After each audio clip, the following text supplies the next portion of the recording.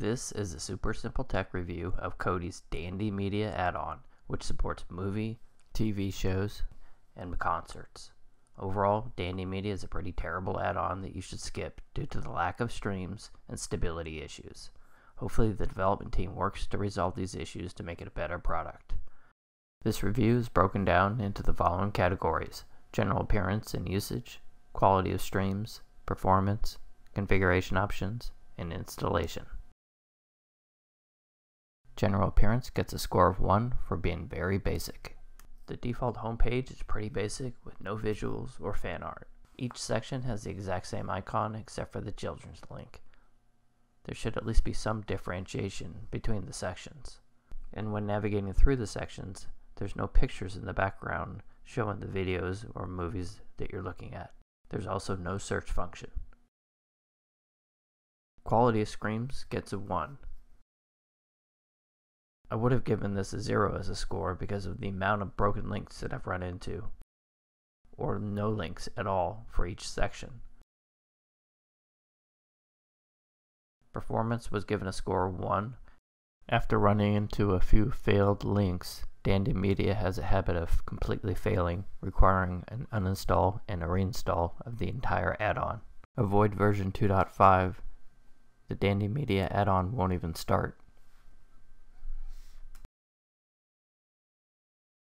Configuration options gets a score 1. Simply put, there are no configuration options. Installation gets a score of 4. Overall, the install went fairly easy. The source, the zip file, and the add-on all installed fine. Overall, Dandy Media is a pretty poor add-on. Until the development team fixes all the stability problems and the links, I recommend skipping this add-on in favor of other more stable or more robust add-ons such as Specto or Exodus. To install Dandy Media, you need to first set up the source location, download the zip file, then install the add-on. Let's first set up the source. Under System, select File Manager, select Add Source, then enter the following URL, http xunitytalk.me slash xfinity. Leave the name Xfinity so it's easy to find. Now you have a new source named Xfinity. Now let's install the zip file. Select System, scroll down and select Add-ons. Select Install from zip file. Choose your new source location, Xfinity. Scroll down and select xunitytalk underscore repository dot zip. After a few moments, the zip file will download and install. Next, let's install the add-on. Select Install from Repository. Choose XUnityTalk repository. Scroll down and select Video Add-ons.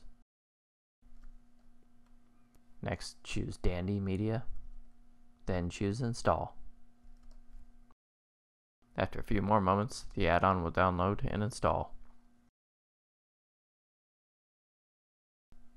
Now let's set up a super easy shortcut to launch from the home screen. Select System. Choose Appearance. Under Skin, select Settings.